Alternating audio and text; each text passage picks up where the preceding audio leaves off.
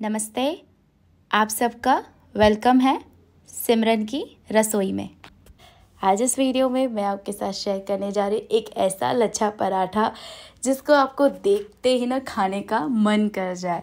ये लच्छा पराठा है ना, अचार, दही, चाय कॉफ़ी या फिर कोई भी सब्ज़ी के साथ इतना बढ़िया लगता है ना, बस आप एक बार देख लीजिए और बना लीजिए। तो लच्छा पराठा बनाने के लिए एक बाउल ले लें और इसके अंदर हम डालेंगे दो से तीन कटोरी गेहूँ का आटा। गेहूँ का आटा डालने के बाद इसके अंदर हम डाल देंगे स्वाद के अनुसार नमक और आधी छोटी चम्मच तेल। आप तेल की जगह पर घी का भी इस्तेमाल कर सकते हैं और बस थोड़ा सा मिक्स करने के बाद थोड़ा थोड़ा कर कर पानी डालेंगे और आटा गूंद लेंगे। तो ये जो लच्छा पराठा है ना, इसका आटा आपको वैसा ही लगाना है जैसा आप नॉर्मली जो गेहूँ के आटे की रोटी बनाते हैं ना वो जो उसके लिए आटा गूंदते हैं ना, बस वैसा ही आटा लगाना है। ना ही ज़्यादा सख्त, ना ही ज़्यादा नरम। मीडियम सॉफ्ट आटा गूंद लीजिए, फिर थोड़ा सा तेल लगाकर ऐसे अच्छे से आपको और मसलना है।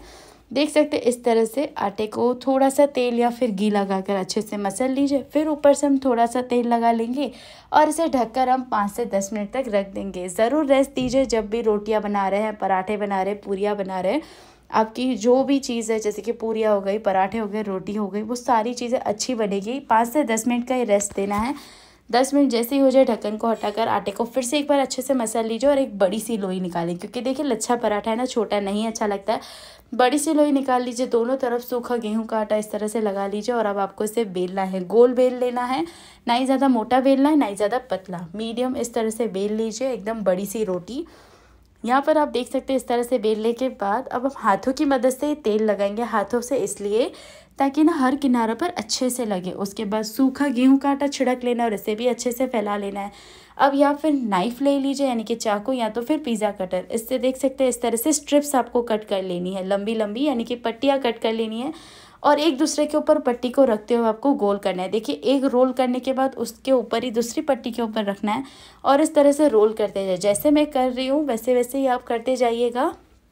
इस तरह से पूरा आपको एक लोई की तरफ़ फिर से ऐसे लपेट लेना है, कर लेना है और इसके किनारों को दबाते हुए थोड़ा सा प्रेस कर लेना है। सूखा गेहूँ का आटा छिड़कना है दोनों तरफ़। ऐसे हल्के हल्के हाथ से हल्के हल्के बेलन से आपको बेलना है, ज़्यादा ज़ोर से नहीं नहीं तो इसकी जो ये देख सकते हैं, इसकी जो परतें ना, वो दब जाएगी। तो ऐसा बिल्कुल भी ना करें, फिर अच्छे गर्म तवे पे डाल दें और जैसे ये हल्का हल्का सिकना शुरू हो जाए ना, पराठा तो आप इस पर तेल लगा सकते हैं या फिर घी या फिर मक्खन जो आप पसंद करते हैं।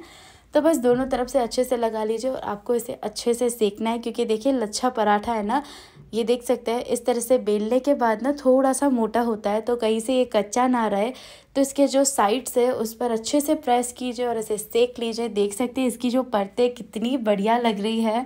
और ये बहुत ही अच्छा लगता है चाहे आप इसे अचार या फिर दही या चाय के साथ ले या फिर कोई भी ग्रेवी ग्रेवी वाली सब्ज़ी या फिर सूखी सब्ज़ी के साथ ले, सभी के साथ ये बहुत ही बढ़िया लगता है।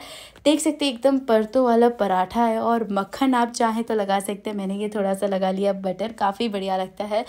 तैयार है, ये बढ़िया सा लच्छा पराठा तो घर पर ज़रूर ट्राई कीजिएगा और मुझे कमेंट्स में बताइएगा कैसी लगी रेसिपी अच्छी लगी तो वीडियो को लाइक कीजिए शेयर कीजिए अपने फ्रेंड्स और फैमिली के साथ और मेरे चैनल को सब्सक्राइब करना बिल्कुल ना भूलें। आज के लिए बस इतना ही। Thank you for watching